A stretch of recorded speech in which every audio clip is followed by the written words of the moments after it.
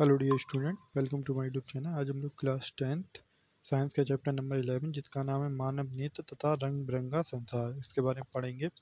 तो जैसे पहले एक क्वेश्चन आता है आपका कि मानव नेत्र का सचित्र या फिर मानव नेत्र का वर्णन कीजिए, ठीक है? उसके मानव नेत्र में कौन कौन से अंग होते हैं, उसका सबका वर्णन करना होता है। उससे पहले मानव नेत्र के बारे में जान लेते हैं, मानव नेत्र होती क्या, आँख होती क्या? है यह एक अत्यंत मूलवान एवं सुगृह ज्ञानेन्द्रिय है। मानव नेत्र एक कैमरे के भांति कार्य करता है जो हमें चारों ओर के रंग बिरंगे संसार को देखने योग्य बनाता है। यह दृष्टि पटल पर उल्टा वास्तविक प्रतिबिंब बन, बनाता है। यह नेत्र गोलक में स्थित होते हैं। नेत्र गोलक का व्यास लगभग 2.3 सेंटीमीटर का होता है। मानव नेत्र के विभिन्न भाग एवं उनके कार्य ठीक है? देखिए ये भाग आप वैसे भी समझ लीजिए क्योंकि ज़रूरी नहीं है कि आपको दीर्घ क्वेश्चन में यही पूछ लिया जाए मानव नेत्र क्या होता है इसके भाग इसके कार्य बताइए ठीक है? डायरेक्ट भी पूछा जा सकता है गिटर पटल क्या होता है, रक्त पटल क्या होता है, ठीक है? श्वेत मंडल क्या होता है, नेत्र गोलक क्या होता है, लेंस क्या होता है, ठीक है? बहुत सी चीज़ें होती है, ठीक है? तो सबसे पहले जड़ पटल क्या होता है देख लीजिए। मनुष्य का नेत्र लगभग एक खोखले गोले के समान होता है, ठीक है?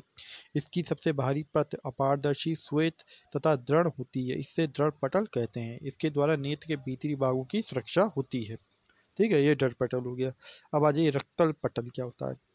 दृढ़ पटल के भीतरी पृष्ठ से लगी काले रंग की एक झिल्ली होती है, जिसे रक्तल पटल कहते हैं। ये नेत्र के भीतरी भागों में परावर्तन रोकती है, ठीक है?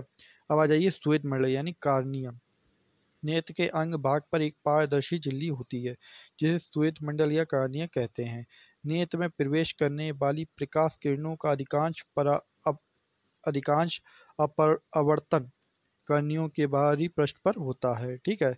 अब आ जाइए नेत्र गोलक क्या होता है? इसकी आकृति लगभग गोलाकार होती है, इसका व्यास लगभग 2.3 सेंटीमीटर होता है।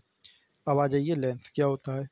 यह एक उत्तल लेंस है जो प्रकाश को रेटिना पर अभिसारित करता है। यह एक रेशेदार जहली व्रत पदार्थ का बना होता है, जेली। जेली आप लोगों ने सुना होगा।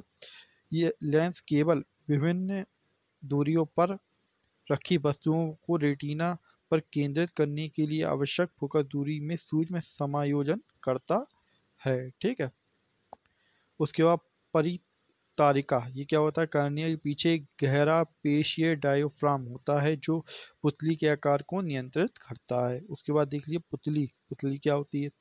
यह परिवर्ती द्वारक की भांति कार्य करता है, जिसका साइज़ परितारिका की सहायता से बदला जाता है। यह आँख में प्रवेश करने वाले प्रकाश की मात्रा को नियंत्रित करता है। ठीक है? अच्छा आ जाइए अभिनेत्र लेंस यह एक उत्तल लेंस है जो प्रकाश को रेटिना पर अभिसारित करता है और वस्तु का उल्टा तथा वास्तविक प्रतिबिंब बनाता है। यह एक रेशेदार जैलीव्रत पदार्थ का बना होता है। पक्ष पक्षवामी पेशियाँ, ये क्या होती हैं? अभिनेत्र की वक्रता को नियंत्रित करती हैं। अभिनेत्र लेंस की वक्रता में परिवर्तन होने पर इनकी, इसकी फोकस दूरी भी परिवर्तित हो जाती है, ताकि हम वस्तुओं को, वस्तुओं का स्पष्ट प्रतिबिंब देख सकें। अच्छा रेटिना क्या होता है? यह एक कोमल सूक्ष्म झिल्ली होती है, ठीक है? जिसमें प्रकाश सुग्री सुग्राई कोशिका अधिक संख्या में पाई जाती है, प्रदीप होने पर। प्रकाश सुग्राही कोशिकाओं सक्रिय हो जाती है, तथा तथा विद्युत सिंगल, सिग्नल पैदा करती है। ये सिग्नल दृक कोशिकाओं दृक तंत्रिकाओं द्वारा मस्तिष्क तक पहुँच जाता है। मस्तिष्क इन सिग्नलों की व्याख्या करता है और हम वस्तुओं को देख पाते हैं। अब आ जाइए दूर बिंदु क्या होता है। यह दूरतम बिंदु जिस जिस तक कोई नेत्र वस्तुओं को सुस्पष्ट देख सकता है। नेत्र का दूर बिंदु कहलाता है। सामान्य नेत्र के लिए यह अनंत दूरी पर होता है।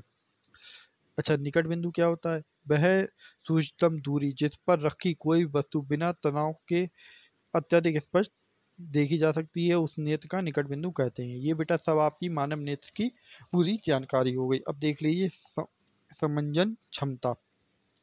अभिनेत्र की वह क्षमता जिसके कारण वह अपनी फोकस दूरी को समायोजित कर देता है, समंजन क्षमता कहलाती है। उसके बाद देख लीजिए बेटा मोतिया बिंदु। पर ये आप दृष्टि दो तथा उसका संशोधन, ठीक है? मोतियाबिंद आप लोगों ने बीमारी सुनी होगी, ये मोतियाबिंद आखिर होती क्या है? ठीक है तो आज मोतियाबिंद के बारे में सुन समझ लीजिए। अधिक उम्र के कुछ व्यक्तियों के नेत्र का क्रिस्टलीय लेंस दूधिया अथवा धुंधला हो जाता है। दूधिया अथवा धुंधला हो जाता है, इस स्थिति को मोतियाबिंद कहते हैं। इसके कारण नेत्र की दृष्टि में कमी या पूर्ण रूप से दृष्टि क्षय हो जाती है मतलब दृष्टि खत्म हो जाती है। मोतियाबिंद की शल्प चिकित्सा के बाद दृष्टि का वापस लौटना संभव होता है। मतलब ऐसा नहीं है जिसकी बिल्कुल चली गई, उसे वापस मिल जाए रोशनी। ऐसा भी नहीं है। थोड़ी बहुत दिक्कत आती है, तब होता है, ठीक है?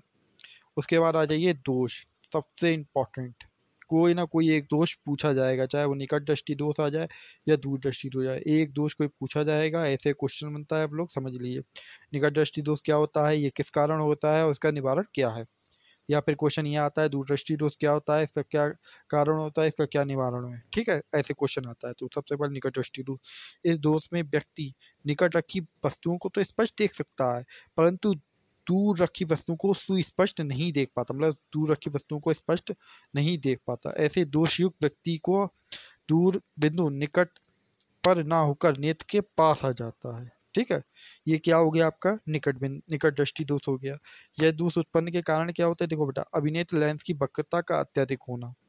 अभिनेत्र लेंस की वक्रता का अत्यधिक होना, नेत्र गोलक का लंबा होना, हो जाना। ठीक है? अच्छा इसका निवारण क्या है?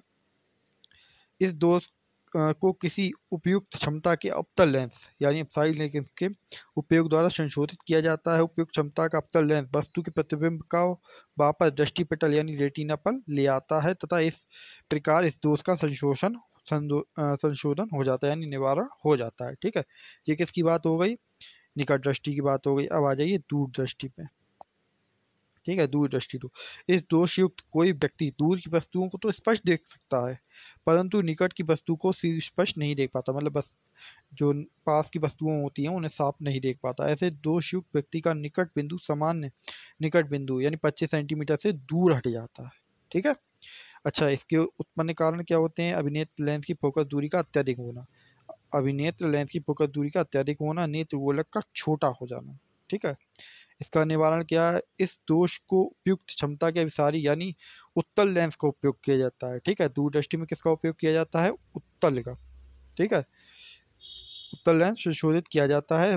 उत्तल लेंस युक्त चश्मा दृष्टि पटल पर वस्तु का प्रतिबिंब फोकसित करने के लिए आवश्यक अतिरिक्त क्षमता प्रदान करते हैं, ठीक है? ये आपका हो गया आपका दूरदृष्टि दोष ठीक है? अच्छा बेटा एक आता है जरा दृष्टि दोष ये भी बेटा मैंने देखा है एक दो बार पेपरों में आ गया है ठीक है?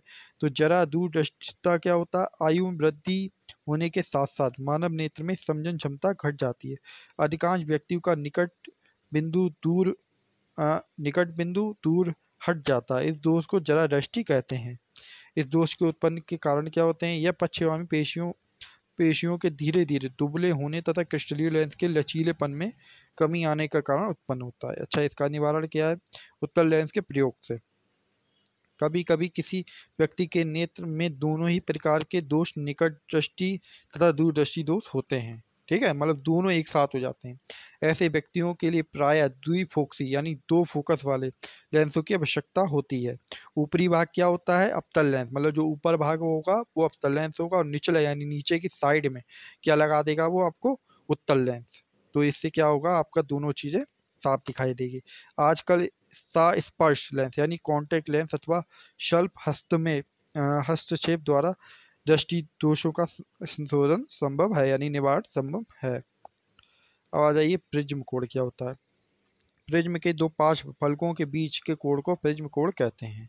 विचलन कोड क्या होता है, आपतित किरण तथा निर्गत निर्गत किरण के बीच के कोड को विचलन कोड कहते हैं। कांच के प्रिज्म कांच के प्रिज्म द्वारा श्वेत प्रकाश का विक्षेपण इंपॉर्टेंट है। सूर्य का श्वेत प्रकाश श्वेत का, श्वेत प्रकाश जब पिंज में से होकर गुजरता है तो प्रिज्म सूर्य प्रकाश को सात रंगों की पट्टी में विभक्त कर देता है। यह सात रंग बैगनी, जामुनी, नीला, हरा, पीला, नारंगी तथा लाल, ठीक है? प्रकाश के अभी भागों के इस बैंड को स्पेक्ट्रम यानी बड़कम कहते हैं वर्ड कम कहते हैं। प्रकाश के अभी भी वर्गों में विभाजन को विक्षेपण कहते हैं। अच्छा अब ये देखिए, तारों का टिमटिमाना।